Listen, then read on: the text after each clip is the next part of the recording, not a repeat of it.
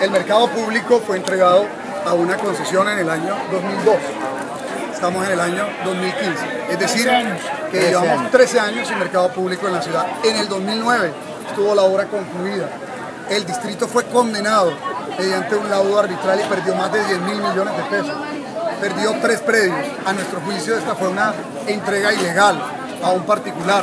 No se debió haber entregado bienes de uso público eh, que prestan un servicio fundamental como la venta de víveres y alimentos de primera necesidad a particulares, pero así fue. Y de ese tiempo acá eh, la situación fue empeorando. Teníamos, no teníamos un buen mercado, pero lo que terminamos teniendo fue mucho peor. Y la ciudad más antigua de Colombia y Sudamérica terminó sin mercado público y con un área aledaña al centro histórico de la ciudad absolutamente deteriorada en términos de tejido urbano y de tejido social. Más complicada la situación aquí de salubridad de los alimentos. Por supuesto, las pruebas que hicimos nosotros, bromatológicas, indican que, bueno, ustedes ven la cantidad elevada de moscas que hay en este punto del mercado. Eh, indican que no son muchos de ellos aptos para el consumo humano. Tomar una decisión de una emergencia sanitaria y cerrar el mercado tenía unas consecuencias severas en materia laboral. Por eso pusimos toda la energía en esta acción popular, si no, nos hubiera tocado tomar medidas, seguramente no iban a ser las más populares, pero teníamos que garantizar la salubridad pública, porque aquí lo que está en cuestión es la salud de los amarios. Aquí se expende buena parte del pescado, de la carne, de los quesos y de los alimentos, las frutas y verduras que consumimos en la ciudad de Santa Marta, bien porque se compra aquí o bien porque desde aquí se distribuye a distintos expendios y tiendas de la ciudad ¿Cómo se va a manejar, cómo se va, a manejar la adjudicación de puestos? Bueno, el, el, fallo nos da una orden, adelantar un censo, con base en ese censo y la revisión histórica que tenemos que hacer, y algunos otros que ya existieran, tenemos que eh, priorizar a aquellas personas que estuvieron inicialmente en la plaza de mercado, que es lo que me parece justo, o que son vendedores que tienen mucha tradición en este punto de la ciudad. Eso es lo primero. Lo segundo es concertar con las empresas de servicios públicos, porque obviamente el edificio ya construido no tiene ni servicios ni eh, de acueducto y alcantarillado, ni de energía, pero hay que activarlos.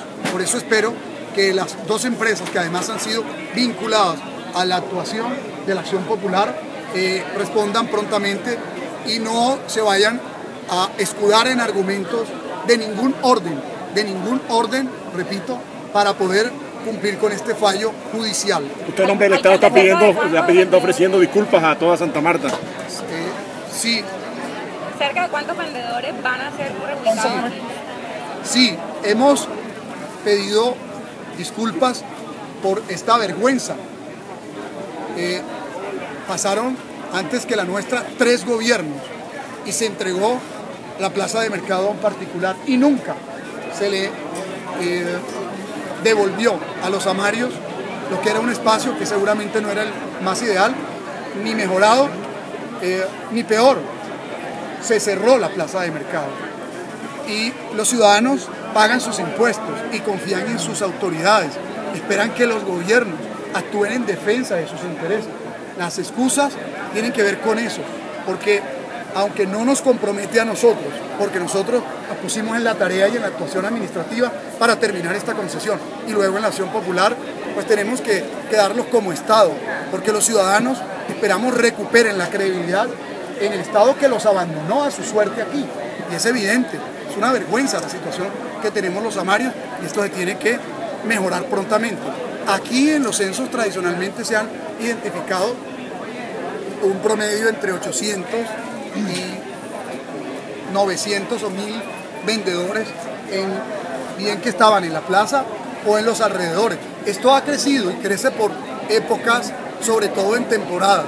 Hay personas que doblan el tamaño de los negocios, en fin, y los contraen en épocas en que bajan la demanda.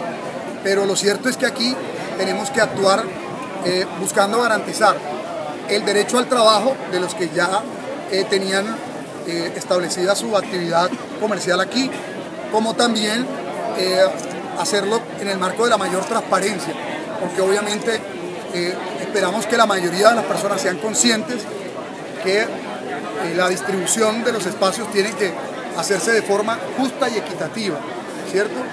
Eh, y no mm, facilitar o- o privilegiar intereses de algunos que tengan varios negocios o cosas por el estilo. Alcalde. Un ejercicio de dignidad para los usuarios también.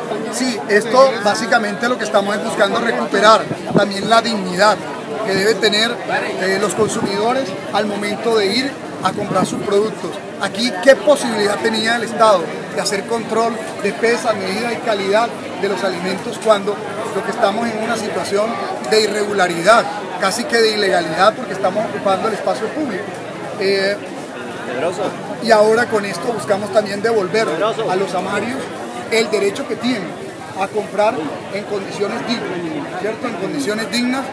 eh, y esto confiamos también sirva para la renovación futura que tiene que tener esta parte del, del centro extendido de la ciudad de Santa Marta, porque recordemos que estamos de vecinos del centro histórico, esto es parte del centro extendido. ¿Cuánto tiempo duraría el censo, alcalde? ¿Cuánto tiempo estarían los vendedores En tres días deben entregarnos los predios y nosotros debemos estar activando posterior a esos tres días de recepción de los predios el censo. Confiamos en que ese proceso no demore más de 10 días, eh, o sea que estaríamos hablando de 13 días y luego vendría eh, con alguna instancia con participación de las mismas personas que están ubicadas aquí, eh, algún tipo de concertación para luego, mediante seguramente sorteos, a iniciar el proceso de adjudicación o simplemente teniendo en cuenta antigüedad. Vamos a ver qué criterios son los que vamos a mezclar para actuar siempre con justicia. Lo que va a demorar que este mercado se habilite prontamente el edificio ya construido es que la empresa electrificadora del Caribe, Electricaribe, y la empresa de servicios públicos, la y Alcantarillado de la ciudad, Metroagua, habiliten los servicios que obviamente el distrito concurrirá con el pago de las facturas a prorrata de quienes entren a los locales que reci- deberá- deberán seguramente entregar eh, algún tipo de arriendo que será módico, pero que debe permitir el pago de los servicios eh, que se van a prestar aquí. Eh, nosotros vamos a hacer movimientos de carácter presupuestal y de tipo administrativo. Por ahora el mercado público no se va a entregar a ningún particular. Lo vamos a administrar directamente desde la alcaldía y muy probablemente hagamos un movimiento administrativo en ESPA para que sea ESPA la que defina la gerencia del mercado y la administración de toda la operación. Alcalde,